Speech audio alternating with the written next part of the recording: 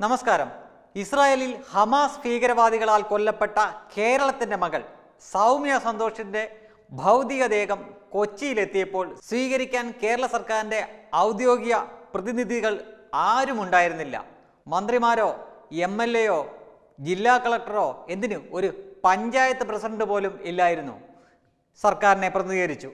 ആകെ ഉണ്ടായിരുന്നത് കുറച്ച് സംഘപരിവാർ സംഘടനകൾ മാത്രമാണ്. വരില്ല. ഇവരാരും വരില്ല. എന്തുകൊണ്ടെന്ന് ചോദിച്ചാൽ സൗമ്യ കൊല്ലപ്പെട്ടത് ഇസ്ലാമിക തീവ്രവാദികളാൽ ആണ്. സൗമ്യ ഒരു മുസ്ലിം ആയിരുന്നില്ല. അവർ ജോലി ചെയ്തത് ഇസ്രായേലിലായിരുന്നു. സൗമ്യയുടെ കുടുംബത്തെ സംരക്ഷിക്കുമെന്ന് ആ രാജ്യം ഉറപ്പ് നൽകിയിട്ടുണ്ട്. എല്ലാവിധത്തിലുമുള്ള ഔദ്യോഗിക ബഹുമതികളോടും കൂടിയാണ് സൗമ്യയെ ആ രാജ്യം യാത്രയാക്കിയത്. കേരളത്തിലെ മതേതര ഭിക്ഷാന്തേകികളുടെ കോപത്തിന് പാത്രമാവാൻ ഇത്രയൊക്കെ പോരെ. തീർച്ചയായിട്ടും ഇത്രയൊക്കെ മതി. ഇനി ബി ജെ പിക്കാരല്ലാത്ത മലയാളികളും ഈ സംഭവം ഒന്ന് ഓർത്തു വെച്ചേക്കുക. ഭാവിയിൽ ഉപകരിച്ചേക്കും.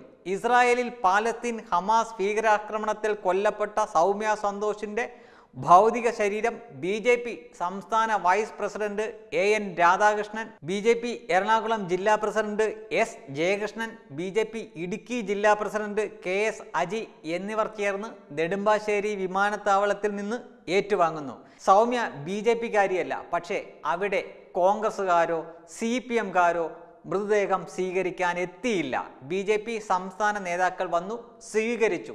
ഇതിൽ നിന്നെല്ലാം നിങ്ങൾക്ക് എന്ത് മനസ്സിലായി? കേരളത്തിലെ ഇടതിനും വലതിനും ഹമാസിന്റെ അടിമകളുടേതാണെന്ന് മനസ്സിലായില്ലേ?